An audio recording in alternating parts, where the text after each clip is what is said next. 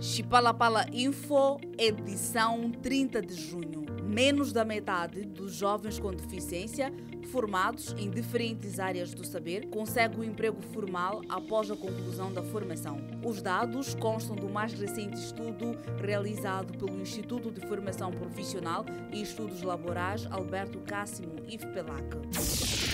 A Organização Mundial da Saúde, OMS, estima que um em cada 30 europeus pode ter desenvolvido a forma mais desconhecida da Covid-19 durante os três anos de pandemia. Conhecida como Covid-resistente, a condição ainda carece de diagnósticos e tratamentos específicos. Apesar de já não constituir uma emergência de saúde pública global, a OMS lembrou que é preciso continuar a cuidar da higiene.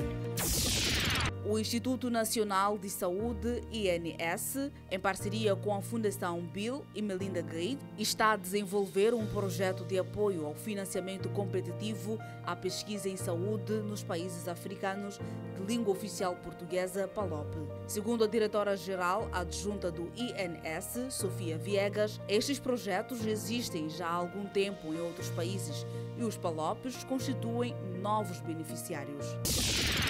Sabia os bebês que nasceram antes do tempo, isso é, os bebês prematuros, dormem mais do que outros bebês? Os bebês prematuros, uma vez que nascem antes de o seu corpo estar completamente desenvolvido, precisam muito de descansar para recuperar a energia e assim se desenvolverem. Não se assuste se o seu bebê passar muito tempo a dormir. Porém, se o seu bebê dormiu mais de 3 horas sem mamar, deve acordá-lo para amamentar. Quando este estiver acordado, estimule o bebê através de conversas e brincadeiras delicadas.